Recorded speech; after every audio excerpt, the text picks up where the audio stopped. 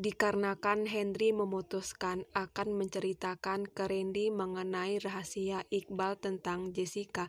Randy pun akhirnya datang ke Polsek Praja V karena Randy sangat penasaran apa sebenarnya yang terjadi dengan Jessica dan juga Iqbal karena setahu Randy, Iqbal sangat takut pada saat Henry mengancam akan mengatakan semuanya mengenai Jessica.